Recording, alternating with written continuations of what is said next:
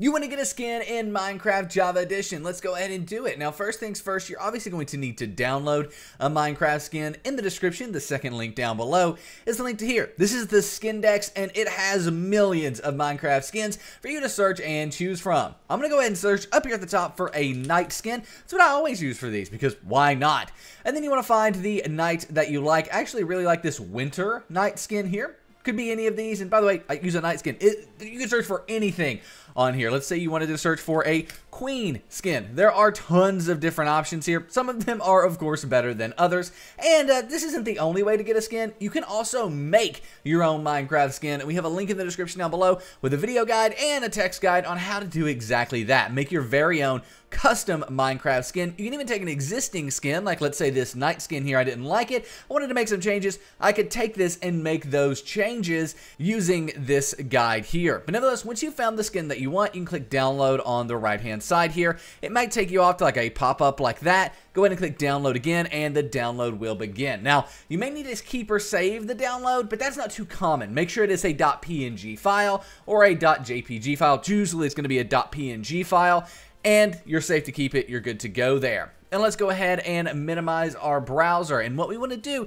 is open up the Minecraft launcher because all of your skins are now managed in the Minecraft launcher. While this is opening, have a message from our company, Simple Game Hosting. Go to the first link in the description down below, thebreakdown.xyz slash SGH. Start your very own 24-hour DDoS protected Minecraft server so you can play Minecraft with your friends. You can easily add mods, plugins, mod packs, or play vanilla Minecraft. The options are up to you. And if you do have any issues along the way, we have amazing live chat support and a high-quality knowledge base. So go check out Simple Game Hosting at the first link in the description down below, to the breakdown.xyz slash SGH to start your Minecraft server the simple way. Nevertheless, here we are on the Minecraft launcher. We can go ahead and click on skins up here at the top, and we will be able to see all of the Minecraft skins we have installed. Like I said, you don't have to go to Mojang or anything like that. What's really cool is you can easily add in multiple skins and switch between them. So nevertheless, we have our default skins here, and you can select these by just hovering over them and clicking use. But if you want to add a custom skin, we need to go ahead and click the plus new skin here. You can name the skin whatever you want. I'm to name it Simple Game Hosting because that's the easiest way to host a Minecraft server for you and your friends. And then once you've got that name in there, you can name it anything you want. Choose your player model. Do you want the slim or wide player model? It's up to you. I'm going to go with wide. And then we want to go ahead and click our skin file here by clicking Browse.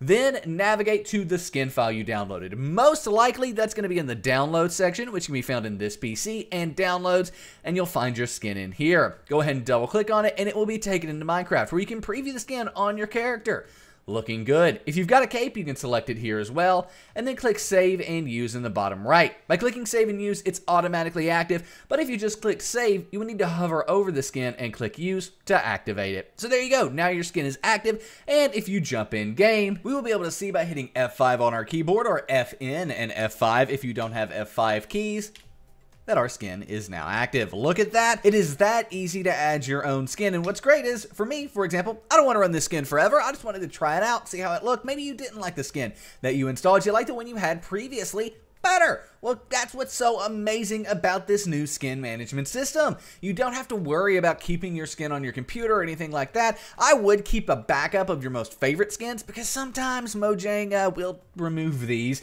but generally keeping a backup on your system isn't required. They're all in here. So you can hover over this and click use and boom. Now my skin that I've used for, well, a decade is now active and we can jump in game and be good to go. So with that being said, that is how you can add your very own skin to Minecraft 1.20.2. If you have any questions, let us know in the comment section down below. We hope this video helped you out. We'll see you in the next one. Peace.